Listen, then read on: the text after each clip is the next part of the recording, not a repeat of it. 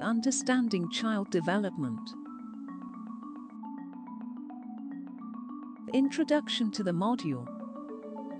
In this module on child development, you will learn how a child becomes a fully developed adult.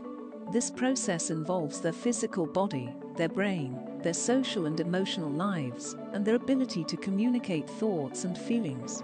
You will also delve into the natural and environmental factors that impact a child's development. The module will be a starting point in your journey towards understanding the complex problems children can encounter in their minds and bodies.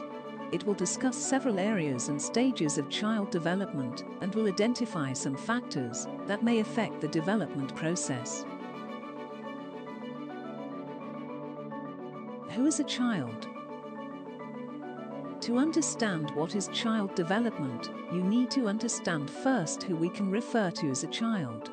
But in legal terms, there are specific definitions, usually quantified by age, which is what we are describing here.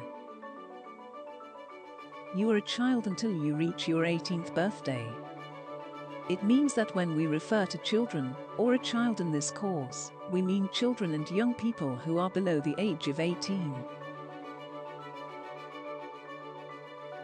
What is child development? Child development is the process in which children gradually learn to use their bodies and gain new skills. Child development differs from child growth, but the two are connected. Child growth is when children's bodies increase in size, and child development is when children gain new abilities. When a child is growing up, he is going through a lot of changes. There are changes in his physical, language, thought and emotional development.